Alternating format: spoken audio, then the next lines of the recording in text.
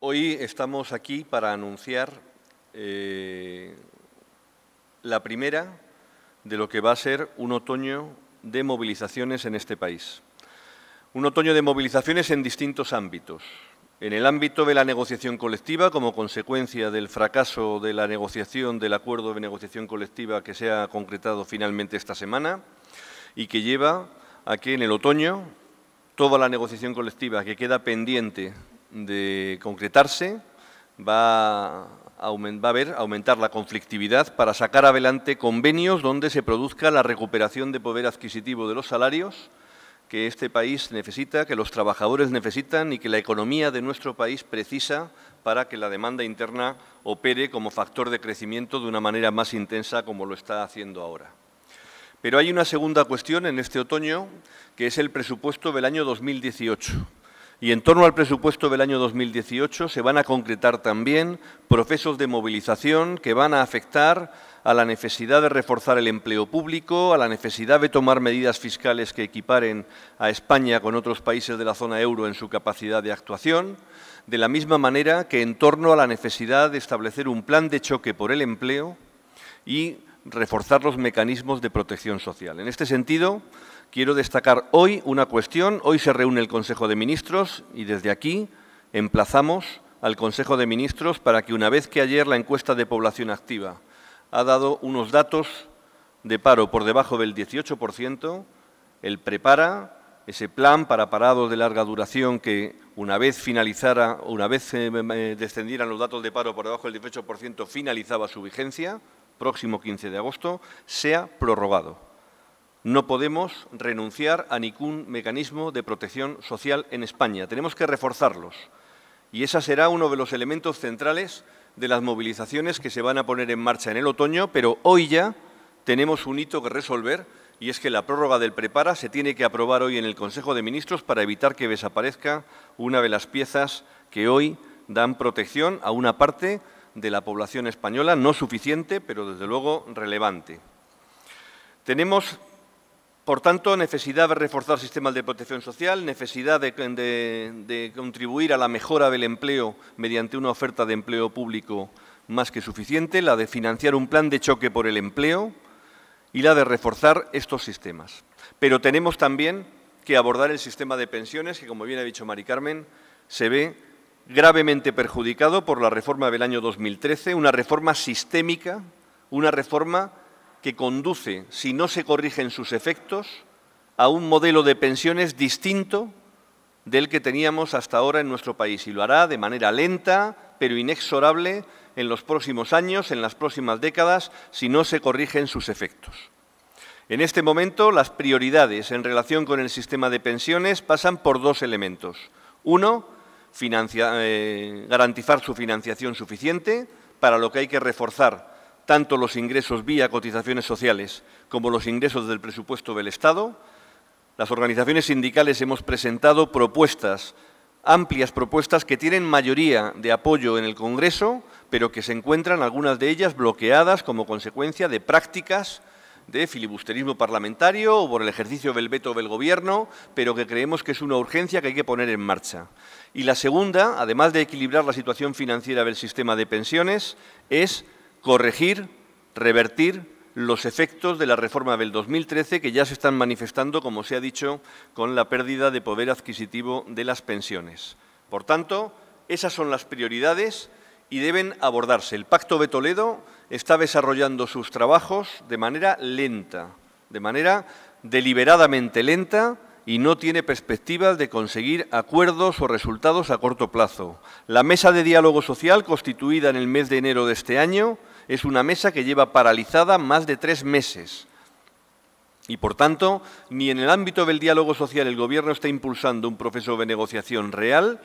ni en el ámbito del Pacto de Toledo los grupos parlamentarios están pudiendo avanzar. Lo que pretendemos, por tanto, con este anuncio de movilizaciones en materia de pensiones que se enmarcarán, insisto, en un otoño caliente, en un otoño de movilizaciones en torno a los presupuestos del Estado y en torno a la negociación colectiva, también en materia de pensiones vamos a singularizar una movilización en relación con las marchas de pensionistas que confluirán sobre Madrid el día 9 de, de octubre y que tendrán el apoyo de toda la estructura confederal, de comisiones obreras, de la Unión General de Trabajadores, exigiendo que se equilibre la situación financiera de la Seguridad Social y que se reviertan los efectos de la reforma del 2013. Entre otras cosas, porque como bien decía el ministro de Economía ayer, una vez que España va a cumplir con el Pacto de Estabilidad antes de final de año, decía él, el propio Gobierno reconoce que es el momento en el que tienen que prestar más atención al estado del bienestar. Pues eso se hace no con declaraciones de un ministro para ocupar espacios en verano, sino se hace en los presupuestos generales del Estado del 2018, porque los del 2017 no van a servir para ello. Este es el motivo fundamental de las movilizaciones que hoy anunciamos y que, desde luego, iremos concretando a lo largo del mes de septiembre de manera mucho más precisa. Y estamos organizando estas marchas pues que culminan un poco la movilización que hemos llevado UGT y Comisiones Obreras de Pensionistas durante el último periodo, intentando que el IPC de los pensionistas recuperásemos, porque con esta reforma del Partido Popular, ya lo decíamos desde el año 2013, que se perdería un porcentaje importante cuando el IPC rondase en torno al 2%, que es la recomendación que, hacía, que hacían desde la Unión Europea. Y queremos acabar con esto y con el miedo que están metiendo a la gente que está trabajando de que de seguir así la situación, cuando se jubilen, no van a llegar a cobrar una pensión. Sabemos que de aquí al año 2050 no va a haber 9 millones de pensionistas, va a haber 15 millones de pensionistas y que va a haber que dedicar, en vez de un 11%, 10,5, 11% del PIB, va a haber que dedicar en torno al 15% del Producto Interior Bruto en gastos pensiones. Pero no en el 2050, sino ahora. En este año vemos como Francia, Italia, Inglaterra, varios países dedican ya ese torno del 14 y el 15% del Producto Interior Bruto en gasto en pensiones, por lo cual no hay ninguna medida descabellada. Hasta el año 2011, las reformas que se hicieron fueron consensuadas y ahí el mejor ejemplo es que el Fondo de Reserva de la Seguridad Social estaba a 70.000 millones de euros. Después de la reforma del 2013 del Partido Popular, que no se consensuó con los agentes sociales, ni con el gobierno, ni eh, con, la patronal, ni los sindicatos, ahí está el ejemplo que el fondo de reserva está prácticamente desaparecido porque se acaban, acaban con él. Vemos también, ya lo han dicho los compañeros,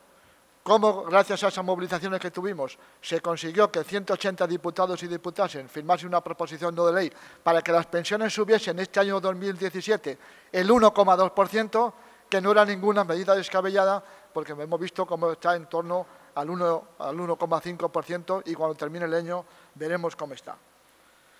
Hay que garantizar las pensiones de hoy y de mañana. Eso es primordial. Y el, 28% de los hogares en este país viven gracias a los pensionistas y jubilados, por lo cual los pensionistas no pueden perder poder adquisitivo. Y claro que hay medidas claras que hemos puesto en muchas ocasiones encima de la mesa y se nos hemos presentado los partidos políticos. Lo que no es normal es que todos los gastos de la Administración de la Seguridad Social, que son 3.800 millones de euros, se paguen claramente de la Seguridad Social. Tiene que ser, como otros ministerios, que se paguen con impuestos. Y como esas muchas medidas, como las tarifas planas a los empresarios para que contraten 1.800 millones de euros que tienen que financiarse también con impuestos y no con la seguridad social. Una serie de medidas que ya todos y todas eh, conocéis. Y se rompe la,